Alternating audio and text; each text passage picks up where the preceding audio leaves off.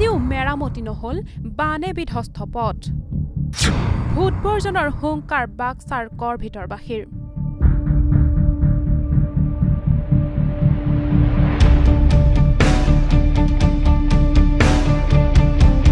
সমাগত নিৰ্বাচনত ভোট বৰ্জন কৰিব এখন গাঁৱৰ ৰাইজে। বিগত তিনি বছৰে বানে বিধ্বস্ত কৰা বাট পথ মেৰামতি নকৰাত ক্ষোভিত গাঁৱৰ এইসকল ৰাইজ। বাক্সা জিলাৰ বাষষ্ঠি নং বৰমা বিধানসভা সমষ্টিৰ অন্তৰ্গত এই গাঁওখন হৈছে গড় ভিতৰ। বিগত তিনি বছৰে পাগলাদিয়া নদীৰ বানে বাট পথ বিধ্বস্ত কৰা যাতায়াতৰ নামত জমৰ যাতনা ভুগি আহিছে গাঁওখনৰ ৰাইজে। এতিয়ালৈকেও চৰকাৰৰ পৰা আমি কোনো একো হেৰিয়ে পোৱা নাই।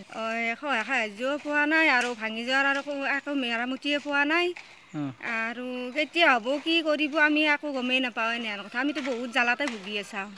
অঁ এই দলংখনৰ ৰাইজে বনাইছে বাঁহ তোলা তুলি কৰি। বিধায়ক আহে নে নাহে? কেতিয়াবা আহে বিধায়কে ভোটৰ সময়ত আহি পেলাই আৰু দিম বুলি কয় আৰু নাই।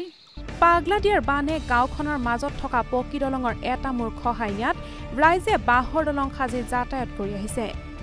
আনহাতে গড় ভিতৰৰ পৰা ধমধমা সংযোগী পথটো খহাই পেলোৱাত দুৰ্বিষহ যাতনা ভুগিব লগা হৈছে যাতায়াতৰ ক্ষেত্ৰত। বিশেষকৈ পথটোৰে চাৰিচকীয়া বাহন আহিব নোৱাৰাত অধিক সমস্যাৰ সন্মুখীন হৈছে গাঁওখনৰ ৰাইজ।